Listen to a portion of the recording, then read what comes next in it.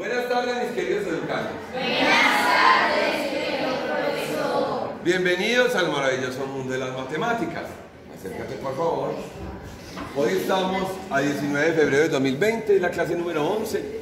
Hoy vamos a realizar operaciones con números irracionales. Nosotros podemos identificar comúnmente los irracionales como las raíces. Raíz de 2, raíz de 3, raíz de 5, etcétera, etcétera. Entonces, céntrate acá. Vamos a hacer operaciones de suma y resta hoy. ¿Listo? Lo primero que usted tiene que tener presente es que usted no puede sumar raíces de 2 con raíces de 3. Simplemente raíces de 2 con raíces de 2, raíces de 3 con raíces de 3 y así sucesivamente.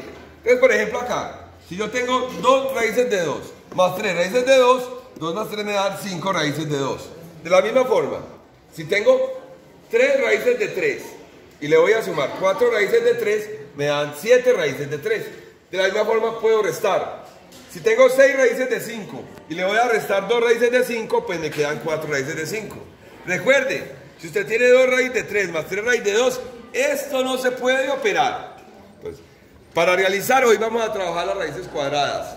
Entonces tiene que tener presente todas las raíces cuadradas. La de 4, 2, de 9, 3, de 16, 4, 25, 5, de 36, 6, de 49, 7, de 64, 8, de 81, 9 y de 110. Pero entonces ahora, ¿cómo se aplica? Por ejemplo, me dice, sume raíz de 8 más raíz de 18. En este caso no se pueden sumar porque no tienen la misma expresión radical.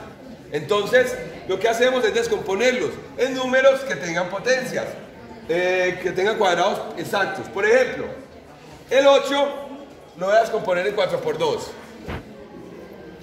Y el 18 lo voy a descomponer en 9 por 2.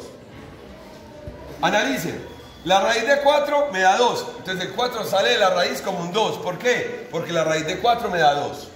¿Qué me queda dentro de la raíz? Me queda el 2. Entonces me daría 2 raíz de 2. Pasemos al siguiente. Más. Raíz de 9 me da 3. ¿Qué queda dentro del paréntesis? El 2. Entonces me quedaría raíz de 2. Y nuevamente como antes lo vimos. 2 raíz de 2 más 3 raíz de 2 me quedan 5 raíces de 2. Vamos a, hacer, vamos a operar más rápido ya. Raíz de 12 más raíz de 27. El 12 lo voy a descomponer en 4 por 3. Y el 27 lo voy a descomponer en 9 por 3. Nuevamente, la raíz de 4 me da 2. Y adentro me queda la raíz de 3. Entonces 2 raíz de 3. Más porque es más. Nuevamente, la raíz de 9 me da 3. Y adentro me queda 3. Entonces me quedaría 3 raíz de 3. Y como en el anterior ejercicio, 2 raíz de 3 más 3 raíz de 3 me quedan 5 raíz de 3. Pasemos a cada una para una resta. Raíz de 45 menos raíz de 20. Este 45 lo voy a descomponer en 9 por 5. Y este 20 lo voy a descomponer en 4 por 5. Entonces acá me queda raíz de 9, 3. Entonces me queda 3 raíz de 5. Y aquí me queda raíz de 4, 2. Entonces 2 raíz de 5. 3 raíz de 5 menos 2 raíces de 5 me queda una raíz de 5 y el 1 no es necesario escribirlo. Y vamos a hacer por último una operación con varios términos. Raíz de 50 más raíz de 32 menos raíz, menos raíz de 32. Este 50 lo descompongo en 25 por 2. Este de 32 lo descompongo en 36 por 2. Y este 32 lo descompongo en 16 por 2. La raíz de 25 me da 5. Entonces aquí me quedan 5 raíces de 2. Más, más. La raíz de 36 me da 6. Entonces aquí me quedan 6 raíces de 2. Menos, menos. Y la raíz de 16 me da 4, entonces aquí me quedan 4 raíces de 2.